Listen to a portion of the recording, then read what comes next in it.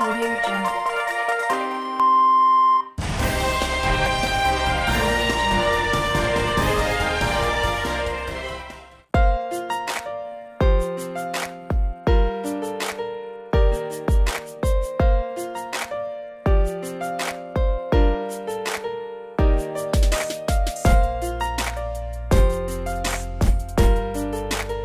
ನನ್ನ ಹೆಸರು ಸೈದಾಸ್ ನಮ್ಮ ಇವತ್ತಿನ ವಿಶೇಷ ಕಾರ್ಯಕ್ರಮಕ್ಕೆ ತಮ್ಮೆಲ್ಲರಿಗೂ ಆತ್ಮೀಯ ಸ್ವಾಗತ. ನೀವು ನೋಡ್ತಾ ಇದ್ದೀರಾ just click India Kannada channel ಪ್ರಿಯ ವೀಕ್ಷಕರೇ, ದಾವಣಗೆರೆ ಜಿಲ್ಲೆಯಲ್ಲಿರುವ ಚನ್ನಗಿರಿ ತಾಲೂಕಿನ ಗ್ರಾಮ ಪಂಚಾಯತಿ ಕೆಂಪ್, ಕೆಂಪನಹಳ್ಳಿ ಕೆಂಪನಹಳ್ಳಿ ಗ್ರಾಮ ಪಂಚಾಯತಿಯ ಸದಸ್ಯರು ಶ್ರೀಮತಿ ಸೂರ್ಯಕುಮಾರಿ ಅವರೇ ನಮ್ಮ ಈ ಕಾರ್ಯಕ್ರಮದ ಮುಖ್ಯ ಅತಿಥಿ. ಈ ಕಾರ್ಯಕ್ರಮದಲ್ಲಿ ಸ್ವತಃ ಅವರು ನಮ್ಮ ಜೊತೆಲಿದ್ದಾರೆ ಕಾರ್ಯಕ್ರಮಕ್ಕೆ ಸ್ವಾಗತ ಮೇಡಮ್ ಸರ್, ನಿಮಗೂ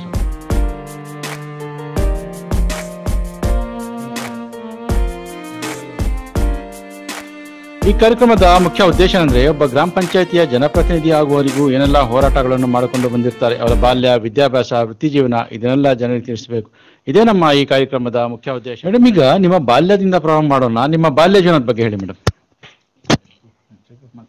ನನ್ನ ಹೆಸರು ಸೂರ್ಯಕುಮಾರಿ.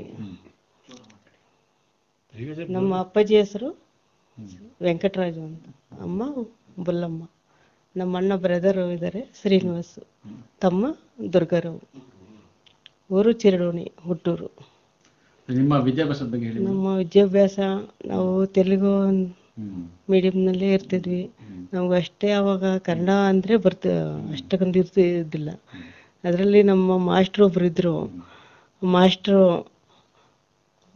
ತೆಲುಗು ಬೇಡ ಕನ್ನಡದಲ್ಲಿ ನೀವು ನಿಮ್ಮನ್ನು ಸೇರಿಸ್ತೀನಿ ಅಂತೇಳಿ ಕನ್ನಡ ಮಿಡ್ಲ್ ಸ್ಕೂಲಲ್ಲಿ ಸೇರಿಸಿದ್ರು. ಆವಾಗಲಿಂದ ಮೂರನೇ ಕ್ಲಾಸಿಗೆ ಸೇರಿಸಿದ್ರು ಕನ್ನಡದಲ್ಲಿ. ಟೋಟಲು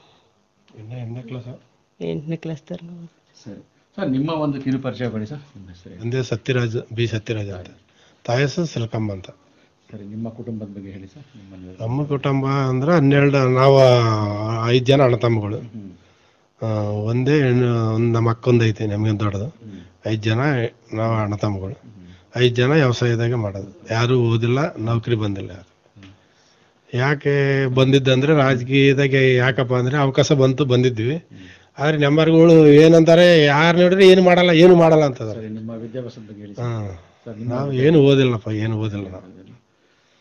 ಮೇಡಮ್ ನಿಮ್ಗೆ ರಾಜಕಾರಣಕ್ಕೆ ಬರ್ಬೇಕು ಅನ್ಸಿದೆ ಅವಾಗ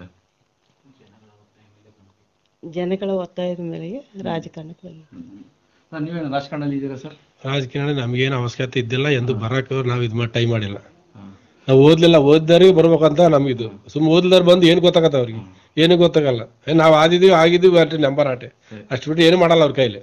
ಮೇಡಮ್ ನೀವು ಮೊದಲಿಂದ ಸಮಾವೇಶ ಸಮಾಜ ಸೇವೆ ಮಾಡಿದ್ದೀರಾ ಇಲ್ಲ ನಮ್ಮ ಮನೆಯವ್ರು ಮಾಡಿ ಸರ್ ನೀವು ಸಮಾಜ ಸೇವೆಗಳು ಮಾಡಿದ್ದೀರಾ ಸರ್? ಹ್ಮ್ ಮಾಡಿದ್ವಿ. ಎಲ್ಲ ಜನ ಜೊತೆ ತಿರುಗಾಡಿದ್ವಿ. ಸಿಕ್ಕಾಪುಟ್ಟ ಮಾಡಿದ್ವಿ. ಅವು ಇವು ಅಂತ ಅವು ಅವು ಅಂತ ಇವು ಅಂತ ಓಡಾಡಿದ್ವಿ ಊರ ಬಗ್ಗೆ. ಸರಿ. ಹ್ಮ್. ಪ್ರತಿಯೊಬ್ಬರ ಜೀವನದಲ್ಲಿ ತಮ್ಮದೇ ಆದ ಮಾರ್ಗದರ್ಶಕರು ಇರ್ತಾರೆ. ನಿಮ್ಮ ಜೀವನದ ಮಾರ್ಗದರ್ಶಕರು ಯಾರು? ಮೇಡಮ್ ನಿಮ್ದು ನಮ್ಮ ತಂದೆ ತಾಯಿ ನಮ್ಮ ಬ್ರದರ್ ನಮ್ಮ ಮನೆಯವರು. ಸರ್ ನಿಮಗೆ ಮಾರ್ಗದರ್ಶಕರು ಯಾರು ಸರ್? ನಮ್ಮ ತಂದೆ ತಾಯಿರೇ ನಮ್ಗೆ ದಾರಿ ತೋರ್ಸೋದು ಇನ್ನೇನಿಲ್ಲ. ಜನಗಳು ಅಕ್ಕ ಪಕ್ಕ ನೋಡಿ ನಾವು ಹಿಂಗೆ ಹಿಂಗೆ ಬದುಕು ಹಿಂಗೆ ಅನುಭವ.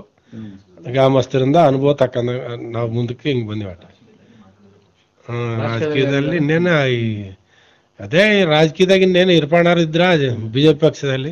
ಆ ಲೆಕ್ಕದಾಗ ಕೆಲ್ಸಗಳು ಎಲ್ಲ ಚೆನ್ನಾಗಿ ಮಾಡ್ತದಾರಂತ ಅವ್ರು ಬೆಂಬಲ ಕೊಡ್ತದ್ವಿ ಇನ್ನೇನು. ನಿಮ್ಮ ಜೀವನದಲ್ಲಿ ಬಂದಿರುವ ಸಂತೋಷದ ಗಳಿಗೆ ಯಾವುದು?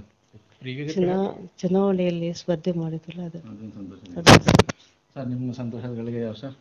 ಎಲ್ಲ ಸಂತೋಷ ಅಂದ್ರೆ ಜೀವನ ಪೂರ್ತಿ ಸಂತೋಷದಾಗ ಏನಪ್ಪ ಕಷ್ಟ ಸುಖ ಅನ್ನೋದು ಇದ್ದೇ ಇರ್ತಾವ ಜೀವನ ಪೂರ್ತಿ ಕಲಿಯೋದ್ರಾಗ ಇದೀವಿ ನಾವು ನಾ ಜೀವನ ಕಲಿಯೋದ್ರಾಗ ಅದು ಎಲ್ಲಿ ತನಕ ಹೋದ್ರೆ?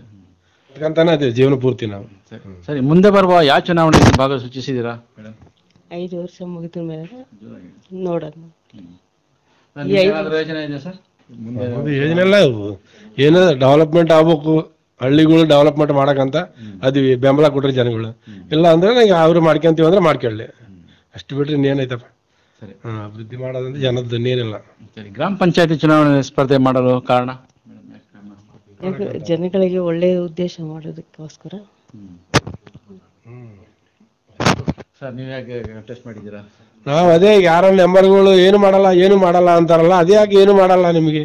ಯಾಕೆ ಮನಿ ಮನಿಗೂ ಕೇಳಲ್ಲ ಕೇಳಲ್ಲಪ್ಪ ನಮ್ಗೆ ಏನು ಬಂದ್ರೆ ನಮ್ಗೇನು ತಿಳಿಸೋದಿಲ್ಲ ಅಂತಾರ. ಅಂತಾಗ ನಾವು ಅವಕಾಶ ಬಂದತೆ ನಾವು ಜನಗಳಿಗೆಲ್ಲ ಒಳ್ಳೇದು ಮಾಡೋಣ ಮನೆ ಮನೆಗೆ ಹೋಗಿ ಹೇಳೋಣ ಯಾವ್ದು ಬೇಕೋ ಯಾವ್ದು ಬೇಡ ಅಂತ ಅವ್ರನ್ನ ವಿಚಾರಿಸೋಣ ಅದು ಒಳ್ಳೇದಂದ್ರೆ ನಾಲ್ಕು ಒಳ್ಳೇದಂದ್ರೆ ಮಾಡೋಣ ನಾಲ್ಕು ಬೇಡ ಅಂದ್ರೆ ಬೇಡ ಮಾಡೋದು ಬೇಡ. ಅಂತ ಬಂದಿವಿ ರಾಜಕೀಯ ಅಷ್ಟು ಬಿಟ್ಟು ಏನಿಲ್ಲ. ಸರಿ. ಮೇಡಮ್ ನಿಮ್ಮ ಗ್ರಾಮದಲ್ಲಿ ಏನು ಸಮಸ್ಯೆಗಳಿದೆ? ನಾವು ಎಲ್ಲ ಮನೆ ಇಲ್ಲದಂತವರಿಗೆ ಮನೆ ಕೊಡಿಸ್ಬೇಕು. ಕುಡಿಯೋ ನೀರು.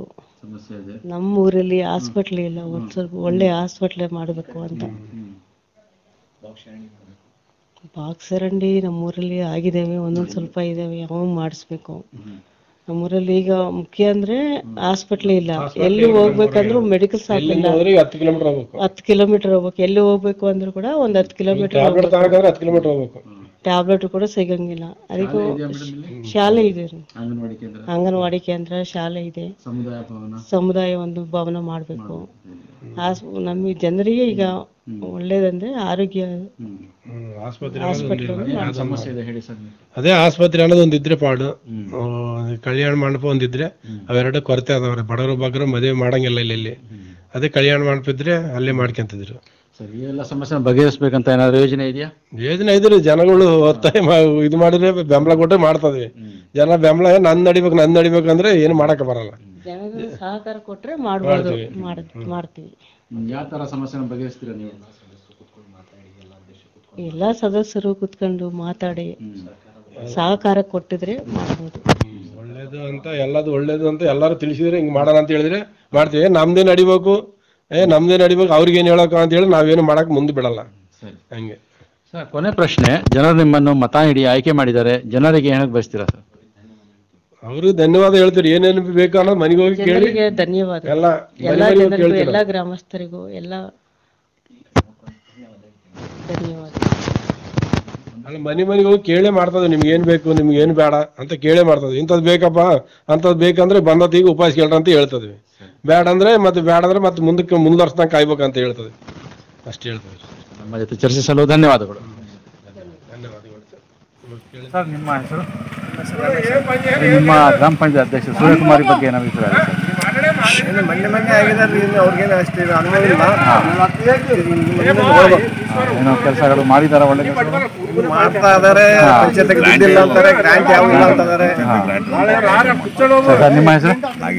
ಆ, ಏನ್ ಕೆಲಸಗಳು ಮಾಡಿದ ಸರ್? ಯಾವ ಥರ ಕೆಲ್ಸಗಳು? ಇನ್ನು ಕೆಲಸ ಸ್ಟಾರ್ಟ್ ಗಾಂಟ್ಗಳು ಇನ್ನು ಯಾವ್ದು ಅಭಿವೃದ್ಧಿ ಕಾರ್ಯಗಳು ಮಾಡಿಲ್ಲ? ಸೀಟ್ ತೆಗ್ಸಿದ್ದಾರೆ. ಹ್ಮ್. ಇನ್ನೇನು ಕೆಲಸ ಗ್ರಾಂಟ್ ಇಲ್ಲ ಪಾಪ ಅವರೇ ಮಾಡ್ತಾರೆ. ಗ್ರಾಂಟ್ ಇದ್ರೆ ಅವರು ಮಾಡಾರೆ ದುಡ್ಡಿಲ್ಲ ಅಂತಾರೆ. ಯಾರು ಸುಮ್ಮನೆ ಇರ್ತಾರೆ. ಊರಾಗ ದುಡ್ಡು ಬರ್ತದೆ ಪಂಚಾಯತ್ಗೆ ಯಾರು ಸುಮ್ಮನೆ ಯಾರು ಗ್ರಾಮ ಪಂಚಾಯತ್ ಮೆಂಬರ್ ಬಿಡಲ್ಲ? ಸರಿ ಸರ್ ಧನ್ಯವಾದಗಳು. ನಿಮ್ಮ ಹೆಸರು? ನಮ್ಮ ಹೆಸರು ನಿಮ್ಮ ಗ್ರಾಮ ಪಂಚಾಯತ್ ಸೂರ್ಯಕುಮಾರ್ ಇವ್ರ ಬಗ್ಗೆ ಅಭಿಪ್ರಾಯ? ಸದ್ಯ ಒಂದು ತಿಂಗಳಾಗುತ್ತೆ ಅಷ್ಟೇ ಹಾ. ಅವ್ರ ಬಗ್ಗೆ ಯಾವ್ದು ಕೆಲಸಗಳು ಮಾಡಿಲ್ಲ. ಏನೂ ಮಾಡಿಲ್ಲ. ಸರಿ